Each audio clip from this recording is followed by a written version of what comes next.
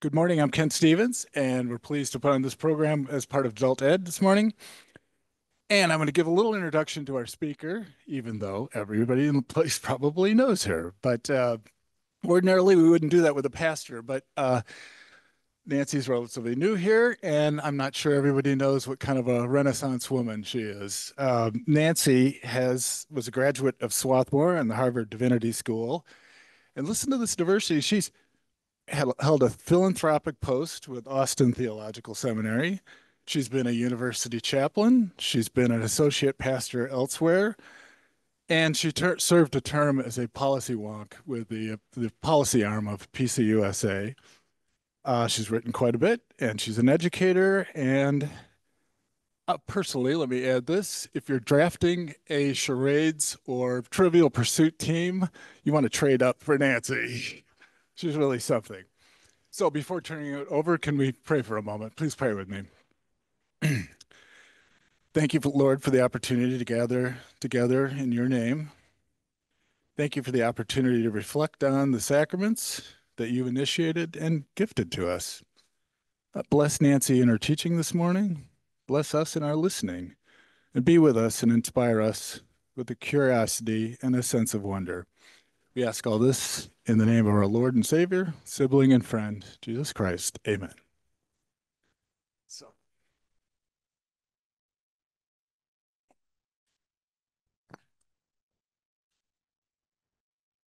And, and thank you, Sister Jana. and thank you, everybody. Both those who are gathered here before me in this stage and those who are actually that's awkward because those of you online can't tell that I'm gesturing to I am gesturing to the to you over on our screen and so we're glad to see all of you here this morning. If you are here expecting to learn more about the two sacraments that are recognized in our tradition, the first of which we will be diving deeply into the realm of baptism, get it, uh, then you have come to the right place. We are going to be spending our time together exploring the sacrament of baptism. We are going to consider it in the context of our worship, but we're also going to uh, consider the history uh, and, and the theology of baptism as well. Before I launch into the formal presentation itself, just out of curiosity, um, if you wish to indicate by show of hands, if you're comfortable, how many were baptized as infants if you have been baptized?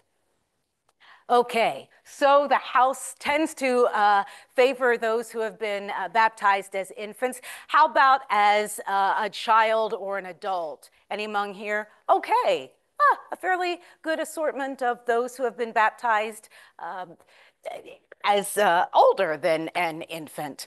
And uh, anybody who hasn't yet been baptized but is seeking to learn more about how to do so, please feel free to visit with me or any one of the other pastors afterwards, and we'll be able to, we'll be happy to walk you through that journey. But it's a fair thing to say that probably some of this will offer some refreshment and new knowledge, given that the vast majority of us can't remember our baptisms. So I am going to pivot here to show my screen. So here we are gathered to learn more about baptism. And so essentially we'll begin by the pressing question, what exactly is a sacrament to begin with? And for those of you who may recall having walked through this lesson, either in confirmation class for some of you, or perhaps in new member, member classes, or if you have been an ordained officer in those training days, this is a bit of a refresher. Um, but a sacrament, essentially, within our tradition, is the word of God enacted and sealed in the life of the church, the body of Christ. So it's an act and it is a demonstration of God's work in our midst, and it seals us in the covenant uh, of God's love and care for us. And we'll consider the word covenant in just a moment, but it seals us together as a body of Christ. It's a gracious act of God both of the sacraments, the sacrament of baptism and the sacrament of communion, by which Jesus Christ offers his life to us through the power of the Holy Spirit. So, right off the top, we're met by the triune God, that is, God in three forms or persons uh, Father, Son, and Holy Spirit. Key components um, as a part of our understanding of the sacraments. On the human side, there are also human acts of gratitude by which we offer our lives to God in love and in service. So the sacraments are signs and seals both of God's relationship with us, but it is also our opportunity to affirm or be entered into or to reaffirm our faithful response of discipleship following Jesus Christ. And as both are both baptism and the Lord's Supper are physical signs and spiritual gifts, we already said that they include words and actions. They are surrounded by prayer. There's always some sort of prayer going on in the context of the church's common worship. And these words will be important, as we'll see later as well. Uh, for those who gathered with us this morning, we had the delight of experiencing baptism. Uh, so that's a great primer for entering into our reflection this morning. Uh, the sacraments and baptism, specifically today, employ ordinary things. It's a bapti baptism and communion both offer opportunities for us to experience the extraordinary in the midst of the ordinary. God works through God's creation, ever leaning into his creation to deepen her relationship with us. So basic elements of water, of bread, of wine or grape drink, uh, fruit of the grape and grain, the things by which we bathe and into which we float. They are exemplary ways for God to convey God's extraordinary power through ordinary things, and that nothing escapes the scope and expanse of God's presence uh, and God's partnership with us. Now, narrowing more deeply into the Reformed tradition, uh, I keep referring to the two sacraments, the two sacraments. Uh, it's because Protestants and Presbyterians recognize two. Uh, do we have uh, anybody who has come from a Roman Catholic background prior to Presbyterianism? Not present, but actually a good number of uh, our siblings in Christ that are a part of Fourth have come from a Roman Catholic tradition or perhaps a uh, Greek or other form of Orthodox uh, tradition in terms of Eastern Christianity. The Roman Catholic Church recognizes seven sacraments uh, which we would, lo- we would look at some things that are regarded in the Roman Catholic Church um, as sacraments, such as uh, marriage, um, of course, we include baptism and communion, but the other extreme unction is uh, that's last uh, rites, uh, which is another one of the seven. But what are all uh, commended as sacraments in the Roman Catholic tradition, often we name as covenants. So, all of these other acts of discipleship, of relationship that we honor and celebrate in the life and witness of the church, like marriage, is a covenant, um, but not uh, what we would regard as a sacrament. And the two sacraments that we recognize are baptism and the Lord's Supper. Why? Well, primarily for two reasons. Because they have been instituted by the Lord Jesus Christ in Scripture, in the Gospels, and we'll look at the Scriptures uh, also as a part of our exploration today. But uh, essentially, they're commended by Jesus Christ through the witness of the Scriptures, and specifically the Gospels, and sustained throughout the history of the universal church. So the acts of the sacrament of baptism and communion have all always been a part of how we have understood our common life as Christian community, as the body of Christ together. And essentially, we do these two things, baptism and communion, because uh, Christ told us to, or Christ told his disciples to. Now, side note, there are a number of things that Christ actually commands the disciples to do as well, and for a variety of reasons have not risen in Protestant regard to the act of to the to the category of sacrament. Uh, for those of us who have been journeying through uh, the path of discipleship, uh, we have explored uh, foot washing last week. As if you look at the scripture and what Jesus tells his disciples to do, he does command foot washing as well, but it has escaped the realm of uh, sacramental life for us as Christians. Feel free to ponder on that uh, of your own accord. So baptism acts as a seal and sign of our incorporation into Jesus Christ. And the Book of Order, which is an essential text from which uh, the majority of my uh, comments come today, uh, really explores with beautiful language the significance theological and otherwise, of baptism. But pointing out what it says about what it means that we practice baptism in the church. What we are doing is dying and rising with Jesus Christ. We uh, join Jesus in common life. We are uh, joined with him when he engages his public ministry. And that first act of public ministry is to be baptized. And so we also walk through the journey with Christ unto death. And so we die with Christ and we rise with Jesus Christ through the act of baptism. Baptism gives us a sense of the pardon, the cleansing, and renewal through the Holy Spirit as God's grace in our lives.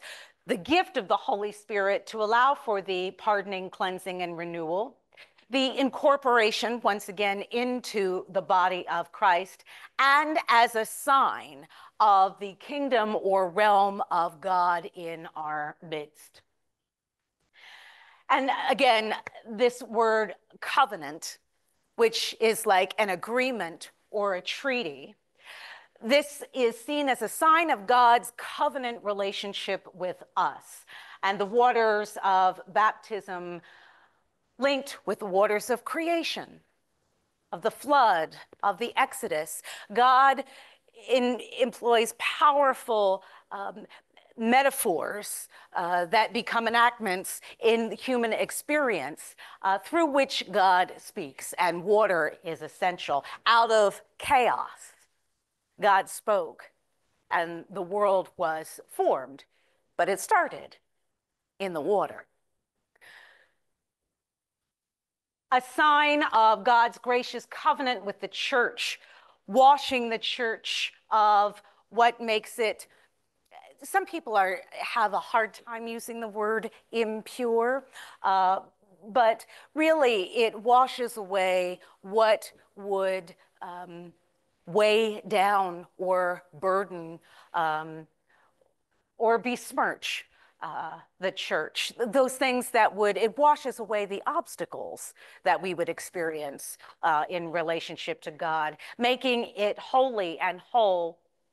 Also, and it's important to note because I don't think we always think about baptism uh, as an important signpost of this, but baptism represents God's call to justice and righteousness. Remembering the words from uh, the prophet Amos rolling down like a mighty stream, and the river of the water of life that flows from the throne of God. Reference to the book of Revelation. So, really, from Alpha to Omega, beginning to end, water is an important symbol uh, of God's power and of our relationship with God. And essentially, baptism marks the beginning of new life in Christ. So we are made new and constantly renewed as we witness baptism in the life of our common witness here as the church. And through those occasions are called to remember our own baptisms. There are those who may have been present when we were baptized who could actually remember for us on our behalf. But our ritual enactment gives us a sense of a more broad, almost cosmic memory when we remember our baptism and are connected to the saints across time and space. Now, some people may be wondering whether there's, you know, we've talked about how important, how essential baptism, its ties to water, it's the essence of water in the midst of creation, and, and, and how long uh, our sense of the scope of time in relationship to water and God uh, there is for us through this sacrament. May be wondering, well, what are the antecedents in the Hebrew scriptures, where in the Old Testament, you know, were the Jews baptizing uh, one another, and did we uh, incorporate this as a practice? Well, the short answer is no. Baptism, as such, as we have come to understand it, was not a practice that held um, religious significance in the way that we understand it as Christians. But it is prefigured in some aspects uh, of uh, practice, of ancient uh, practice.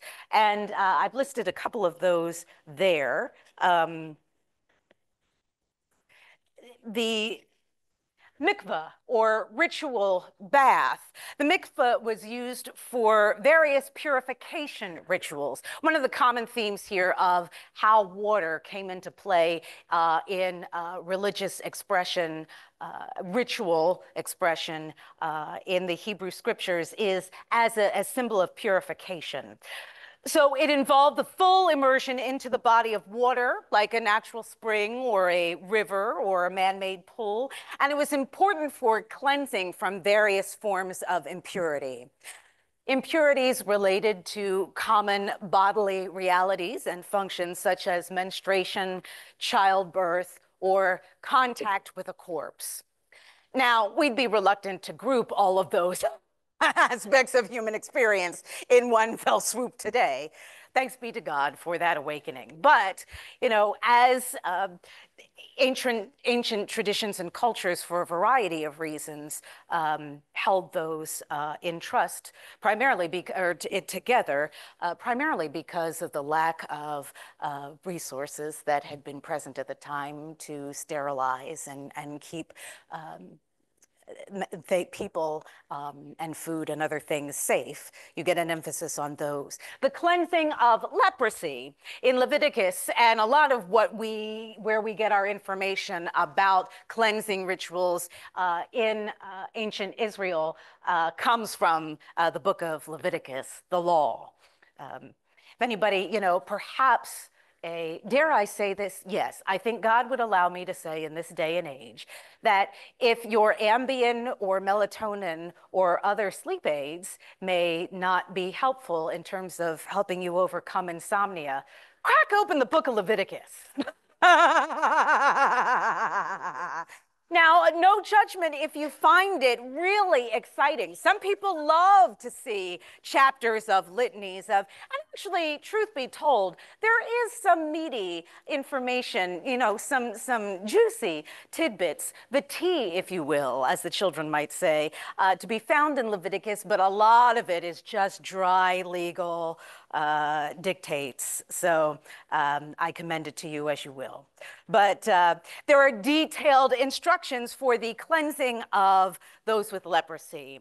Uh, and this also involved ritual immersion along with various other substances, sometimes used along with water, uh, such as blood or oil, as well as sacrifices. Um, you have a cleansing from discharges, some of which was mentioned beforehand, but Leviticus uh, 15 outlines the rituals for those dealing uh, with various bodily discharges. Um, and we're often uh, involved washing wa with water and waiting for a prescribed period of time before being considered ritually pure. And finally, um, as preparation for priestly service. Perhaps we, the, the, the most uh, prescient way we invoke this today in our, our, in our life of worship, those of us in worship leadership, is uh, the hand sanitation. I mean, one might kind of uh, reimagine hand sanitation as, as an extension of um, purification before God. Uh, but before priests could perform their duties in the tabernacle or the temple, they were required to undergo a purification process, which often included washing with water. We're pleased to say that we shower regularly and every, every Sunday morning before entry. So these were not just functional practices uh, for the sake of it, but these practices also had religious and symbolic significance, uh, emphasizing the need for moral and spiritual purity before approaching God. So they were imbued with a sense of meaning and purpose, but of course, again, they don't carry the same sensibility or call to discipleship or presence of Jesus uh, that we have in mind when we think of of baptism uh, in our own time. So moving right along here. Ah, here's where we get to scripture. And so, of course, uh, the precedent for our receiving baptism comes to us uh, from Jesus. Uh, and here's, here's a little uh, Bible study nerd fact. Um, how many of you know that not every story, illustration, or parable appears consistently throughout all four Gospels. I see, yeah, yeah.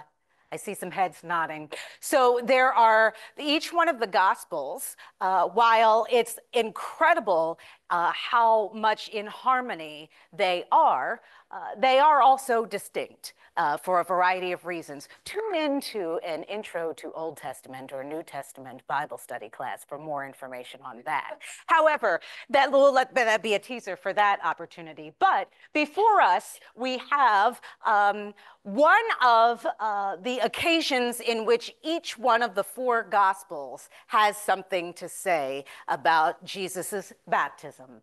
Uh, and uh, just for the sake of it, the three that we see here, Matthew, Mark, and Luke, there's no significance to the nature of the colors. It's just to aid in reading. Uh, but these three are known as the Synoptic Gospels from the Greek meaning to see with essentially. And they tend to be in common agreement in terms of the details and the pericopes or passages within the Gospels that are uh, of the same. Uh, and it's believed that they all uh, were resourced by uh, a document that is not available to us, but something that's called Quell or Q, which is from the German word source. So we believe that Matthew, Mark, and Luke took from Quell to incorporate those accounts of Jesus in their Gospels. Uh, and then John stands out wholly different. John was uh, written much later than the Synoptic Gospels, and John takes on a theological tone that uh, betrays a more developed sense of uh, Jesus followers at that time. So you get a lot more theology. You get Jesus giving long discourses. But uh, two things that I'll point out here of course, we have Jesus undergoing baptism, and uh, we notice that the Holy Spirit um, is present or the Spirit of God in all of them. In Matthew's Gospel, it's verse 17 the moment heaven was open and he saw a Spirit of God descending like a dove and alighting on him. We have uh, a dove uh, descending in verse 10 of uh, Mark's passage. Uh, where he saw heaven being torn open and the Spirit descending on Jesus like a dove. Luke, we've got the same thing Holy Spirit descending on him in bodily form like a dove. And even with John, and in the Gospel of John, we have John's perspective on what happened with Jesus. Um, John gave, verse 32, then John gave this testimony I saw the Spirit come down from heaven as a dove and remain on him. Uh, so we have that as a common theme the presence of the Holy Spirit. Here's something that's interesting to note that's different. Um, if we look at Matthew's gospel and uh, verse 17 here, it says, A voice from heaven said, This is my son, whom I love. With him I am well pleased. Uh, at this point, we have Jesus and John the, uh, John the Baptist as the two main figures here in Matthew. In Mark's gospel, we have uh, something a bit different. We've got Jesus coming to be baptized by John, uh, but then instead of this voice saying, This is, we've got, You are my son, whom I love, with you I'm well pleased. We have in Luke's gospel, now in the beginning, we see that there's a crowd of people that are being baptized, and Jesus uh, engaging in baptism as well. And we have a voice from heaven saying, You are my son, whom I love.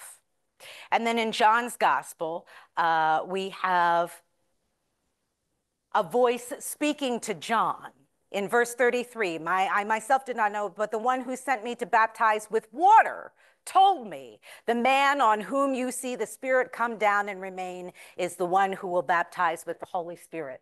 Now, does anyone have any thoughts as to what might be of interest or significant about those differences? What's implied by some by the gospel that says this is or you are? Yes, say more about that. As theology, oh, I'm sorry. I said, can, is this working? Yes, it okay. is. Okay, I was, I said intimacy. I Yeah. shouted it out. Um, because, um, it's a development of theology Mm. during the, during the years, um, that people were, there were more and more Christians and Mhm. they were able to explain things a little more deeply, I think. Mhm. But while I have this, Nancy, I have another question. Uh, Yes. And that is, in anticipation of today, I looked at these passages and something hit me that I'd not ever thought about before. Mhm. And that is, um, how does this compare to the spirit, as in the wind spirit in Mhm. the Old Testament? Did you have that? I mean, am I blowing your your deck here by asking you that question? No, the Holy Spirit, you know, the, the Spirit takes on, there's the New Testament, pneuma, or pneuma, as I, because the pronunciation, I won't nerd out that way. but pneuma, the word for spirit in, in the New Testament, uh, there are a number, there are a couple of different renderings of the sense of spirit uh, in the Gospels or other portions of the New Testament. And you have the presence of the pneuma being essentially what we come to understand as a dimension of God in three persons. Side note, the Trinity as such is never mentioned in the New Testament. The, the, the formula of the Trinity is something that we have come up with to describe, and we feel that the Testaments, uh, that the, the Bible attests to that, but it's not something in the Bible. Um, as in, you know, uh, uh, uh, doctrine of the, the Trinity. Uh, so aside from that, um, in the Old Testament, you have present at creation um, Ruach, which is the Spirit, uh, and that sense of, you know, holy wisdom uh, being a part of uh, creation. The Ruach in uh, the Hebrew scriptures uh, is often imagined in feminine form as the embodiment of wisdom.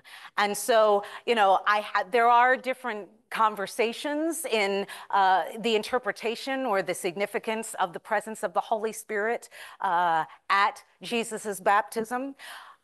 I would just suffice it to say that I think the full essence of God in spirit is present to uh, anoint Jesus, if that's helpful, sure. Um, so yes, and all of those, uh, uh, thank you, Anne, all of those observations are uh, valid. Um, another aspect of the distinction between the you and with whom is, is Jesus receiving this anointing and is it a private you are my son with whom I am well pleased. Is it just Jesus who is experiencing this uh, spectacle, this miracle, if you will, or is it the public? This is my son. Everybody see, no. You know, we have a sense from the scriptures, you know, that this is something that was recognized by other people. And certainly John's gospel, at the very least, John sees and knows what's happening. And so it's, if, if, if we delve into the question of, well, which one's right or which one's accurate, the answer is yes they are, they all are speaking to some essential dimension, but with different priorities and in different ways where they differ. But for the sake of the church, that communal sense of this one being anointed is important because it is in the context of community that we uh, experience and practice baptism. Yes, Marilyn.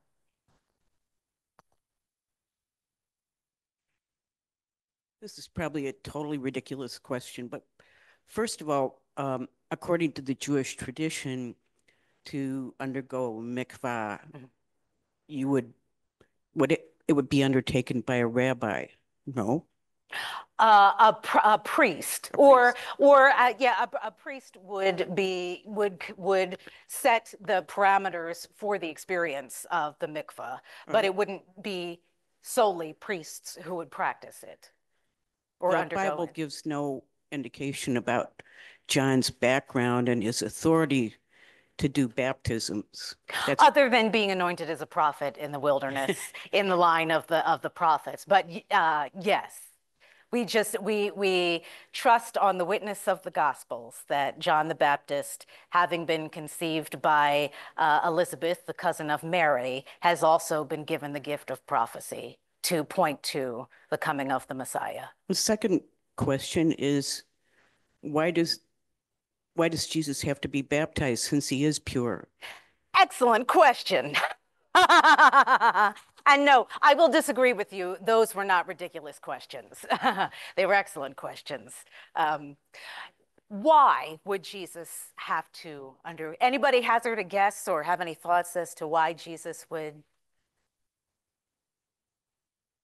Here's an area where there is not necessarily a wrong answer because nobody really knows essentially why. We just know that Jesus does. But we have some good theology um, or theological reasoning for why Jesus may have decided to undergo baptism. One, of course, is the nature of the incarnation itself. Uh, Jesus being uh, the Word made flesh, human, to dwell among us. So, uh, embodiment, literally as an act of solidarity with humankind, you have Jesus taking on the bodily form and therefore perhaps engaging in baptism as a sign of solidarity, simply put, with humanity.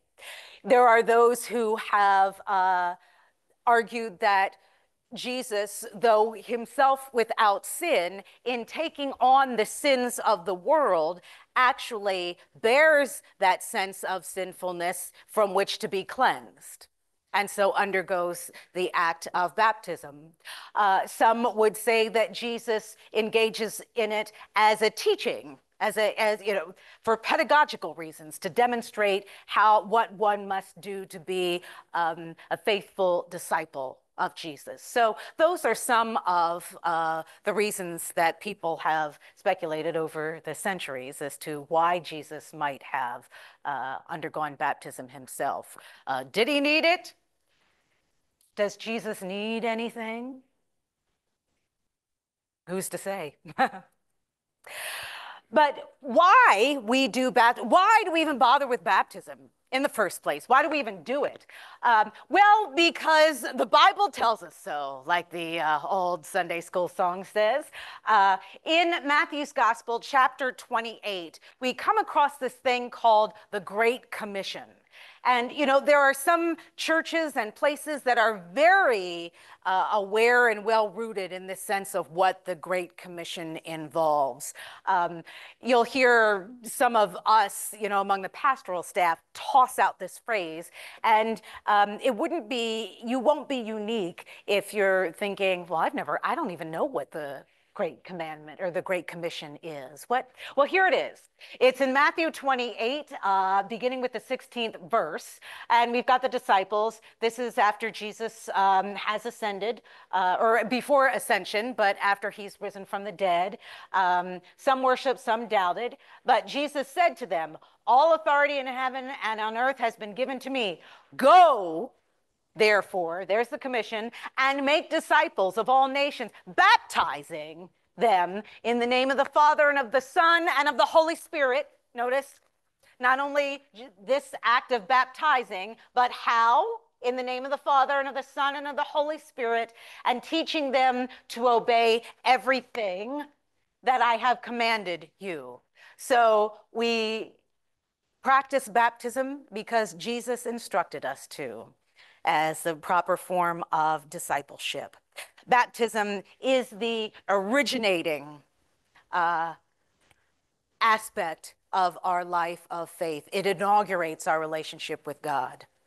So I want to pivot to uh, where this comes into play uh, in our own practices at the church. So if you took one of the handouts uh, that were at the back, uh, you get the inside scoop with the secrets of what actually gets said up front uh, when a baptism is happening.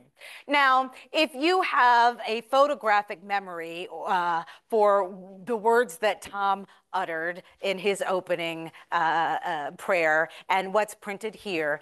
Yes, there are some variations, you know, in terms of um, some of the languages of the prayers or what's offered as an introduction, uh, but generally uh, the sacrament of baptism uh, takes this particular form. And so as we walk through the liturgy together, uh, I'll point out some other uh, common um, and important things to remember that are significant about um, the language that appears in what we say. So, the opening words. And we notice that who opens uh, the, the sacrament? Who's the person that's speaking? The minister of the word and sacrament. We learn in the book of order that baptism shall be, well, I'll skip that for a, session, for a second.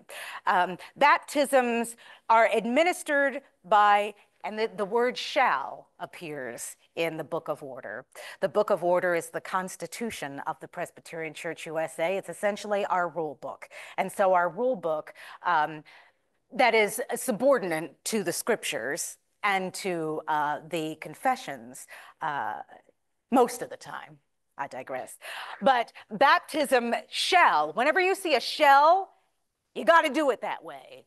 There's shall, there's may, there's should. A shall means you better do it this way. So baptism shall be blank, blank, blank. We'll get that to a sec- in a second. And administered by a minister of the word and sacrament. Hence the title, Minister of the Word and Sacrament. That's another way of describing uh, pastors, uh, the ordained folk that wear the robes every Sunday and do the things. Uh, we are ministers of word and sacrament. So preaching and baptism and communion.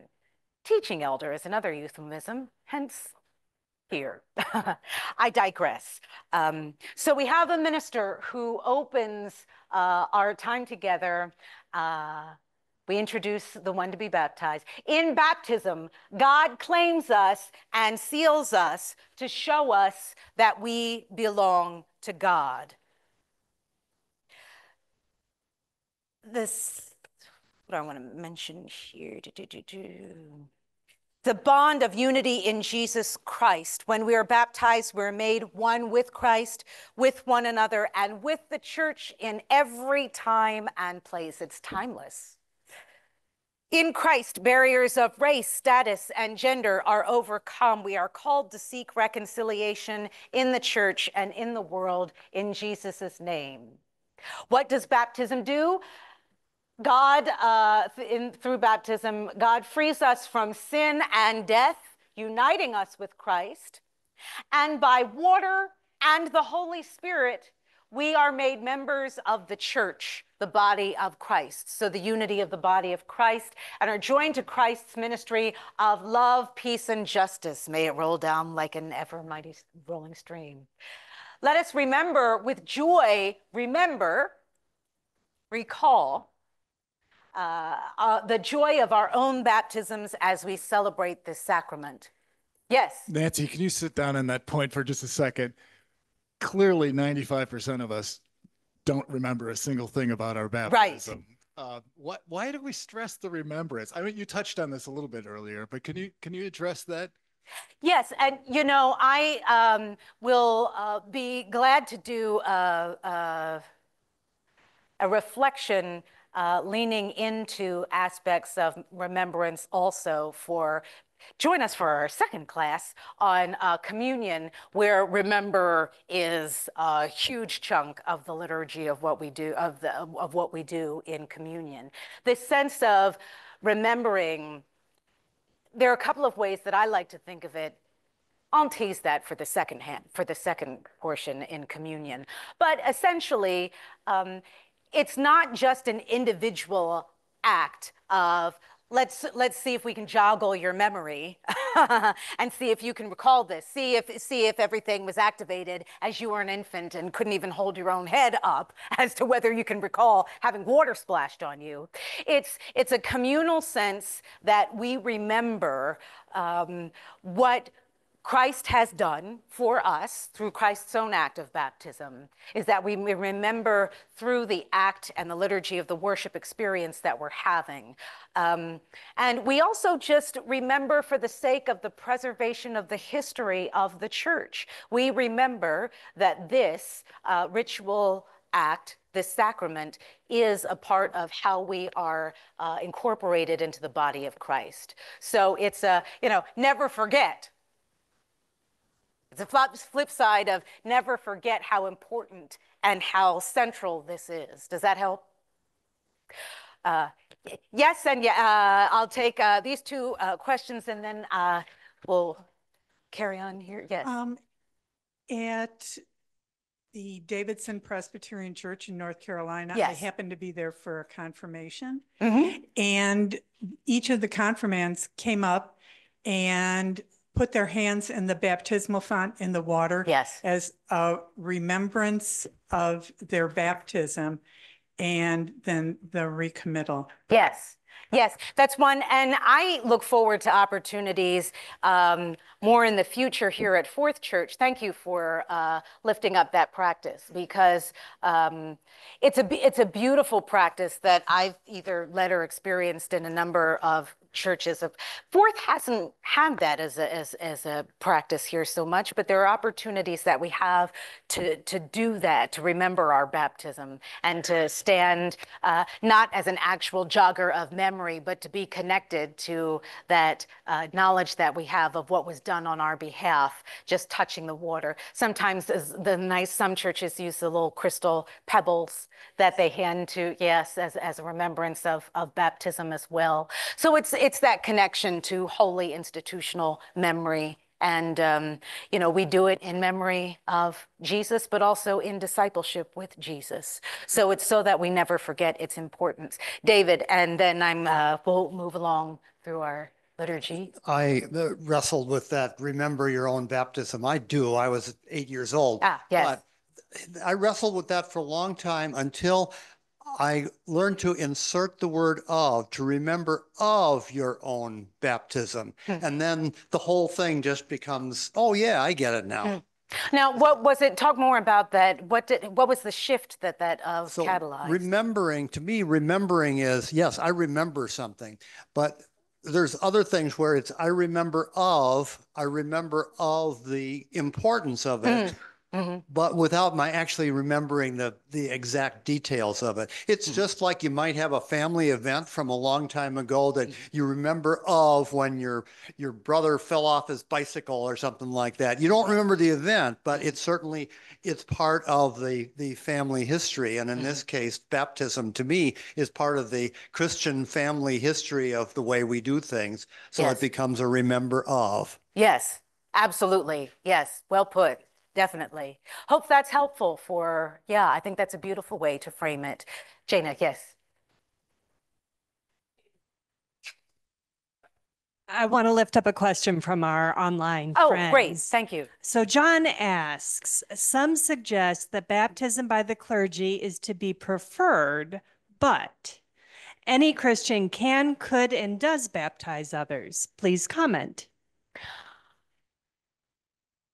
It would be, as far as within the Presbyterian Church USA, uh, and I think that this is a technicality, uh, in uh, a, a session can uh, allow for, can approve uh, an elder or a deacon uh, in the absence of a minister of the word and sacrament uh, to practice uh, baptism. Um, and there are also some, and I was going to fast forward a bit there, or get to that in a bit there. Um, but where baptism is practiced in our tradition is always in community and almost Notice that caveat, almost exclusively in the life of the church. In recent years, there has been exception made in the Book of Order to allow for and, and to recognize um, some circumstances where baptism may need to be performed in other settings, such as in a hospital, um, uh, in a hospital. Uh, for example, let's say uh, a baby has been um, born facing ter- terminally, you know, facing uh, end of life, you know, within hours. And sometimes um, uh, families wish to have baptism performed. And there are other circumstances. Prisons would be another place, you know, other other situations and contexts in which um, baptism uh, is an important um, practice to reaffirm for those involved uh, the circle of the body of Christ that supports them in pivotal moments. That's distinct from um, just sort of opting to um, go uh, to the lakeshore and uh, want to have a one-on-one and get dunked just one-on-one. Um, used to be it used to be a common um, candidate uh, ordination examination question. There's usually one about John and Jane Doe just got married and they've just joined the church and they love the Jersey Shore. And you know and would would you know this 4th of July weekend would love nothing more than just to gather in the early morning before all the beachgoers go out and be baptized. And they've extended an invitation to their pastor to come join them and and do do baptism for them. But if they can't you know if they don't have Sunday free don't worry we've got it you know Describe for us what the Book of Order might say about that. And that's when you've got to regurgitate the wrong, wrong, bad, you know. but it's because um, of uh, the centrality of the reaffirmation of the body of Christ among a particular worshiping community that makes vows, and I will fast forward this, um, makes vows. Uh, the ruling elder uh, in the congregation as the congregation takes the whole responsibility for the nurture of those baptized in the faith. Tom emphasized that in his liturgy this morning about how we as the church in, in uh, the act of baptism make a commitment to this individual to nurture them into the faith and to help them as they grow live into the promises that have been made on their behalf. And um, we baptize infants, side note, uh, in our tradition. Some people may have grown up in traditions that don't baptize infants, that in fact think it's ungodly to baptize infants, that uh, avow um, a believer baptism that is a knowledge and a confession uh, and, uh, of, uh, of sin and a profession of faith in Jesus Christ before one can consent to the act of being baptized. What Presbyterians believe is that the sovereignty of, of God over all um, extends through the grace that we recognize through the act of baptism that is present to everyone, regardless of age, that it is present for the infant in as very real and just a way as it is for the 93 year old who, as a 12 year old, may have undergone dunking. So that's why, if, if anybody was wondering why we allow for and what's godly about that, that's why we practice infant baptism uh, as a part of our uh, tradition. Uh, one other point in who is responsible for how baptism happens. According to the Book of Order, baptism shall be authorized by the session.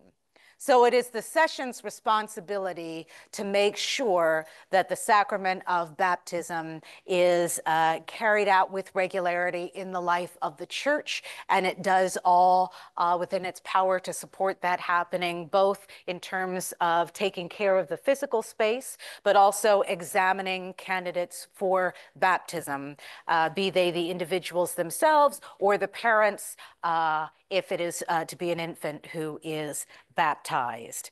Um, so we've affirmed uh, all of this. Um, a prayer is prayed of thanksgiving over the water.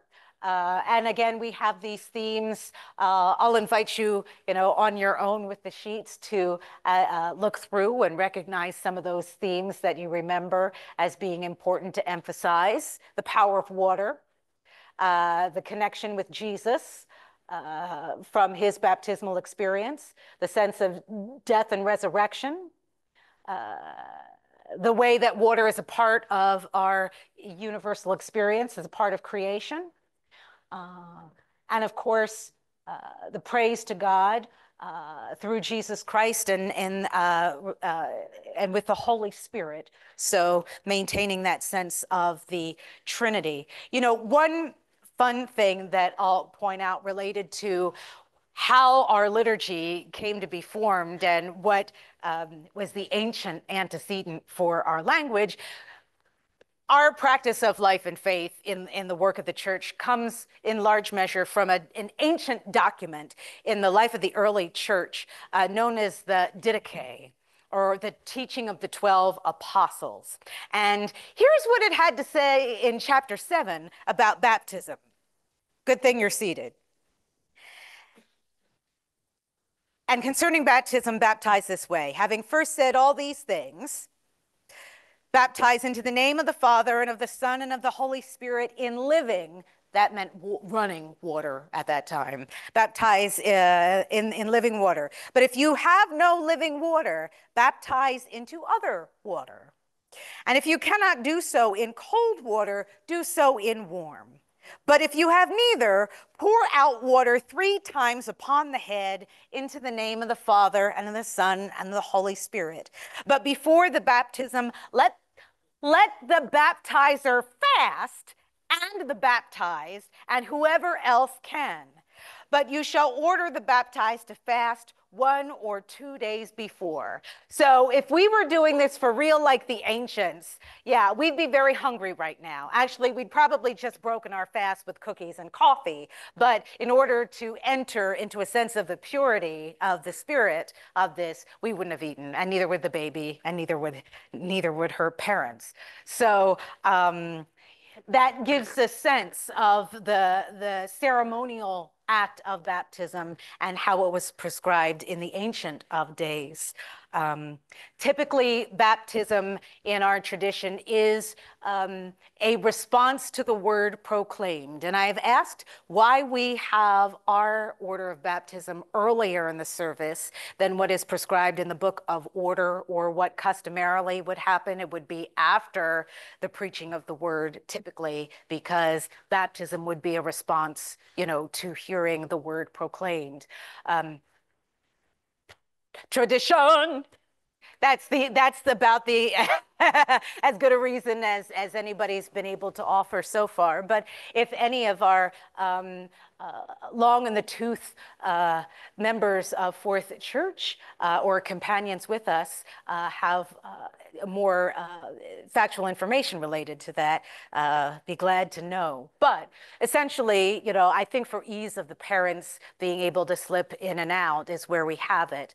But ordinarily, baptism is a response to the word proclaimed. Communion we preserve because communion is in response to the word proclaimed, and we do it that way as well. The offerings are also a response to the word proclaimed, so we do it after the word is preached. And so after all of that has been done, and in the ancient days, sometimes you'll see the symbol of baptism with a, a, seashell, and often, you know, back in the ancient days, there are some traditions that still use the seashell actually to, to do it, but that just represents sort of, you know, another aspect of nature and tying that to um, the liturgy. So we have the child presented and welcomed, joined and affirmed as a member of the Church Universal because membership, of course, they affirm once they're of age to undergo confirmation. But what we are affirming by calling them members in the body of Christ, the Church Universal. And so um, then we close our final prayer, uh, again, invoking the Trinitarian formula of the grace of God, the love of Christ, and the fellowship of the Holy Spirit being with us all. So, in that spirit and being mindful of our time together, perhaps it's in that formulation of the grace of God, the love of Christ, and the fellowship of the Holy Spirit that I commend all of us and uh, give thanks to you for being a part of this experience of walking through baptism. Hopefully, you'll be game and available to join us for round two next week as we dig into the Lord's Supper.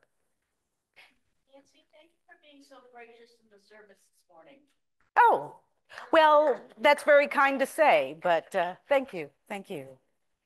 Any uh, parting? Okay, I turn it over to you, Kent. Well, Nancy, would you pray, pray us out? Yes, let us pray. God of power, might, majesty, love, and light, we give you thanks on this your day for the wonderful inbreaking of the Holy Spirit that you breathe into our lives. We give thanks for the gift of baptism, a holy mystery in which we wade in the waters of discipleship into the dying and rising with you. And may we reach out and find the hands of each other as we wade in these waters. May we rise refreshed and renewed to continue in our footsteps throughout the season of Lent, journeying to the cross and beyond. And we as God's people say, Amen. Thank you very much, Nancy. Thank you.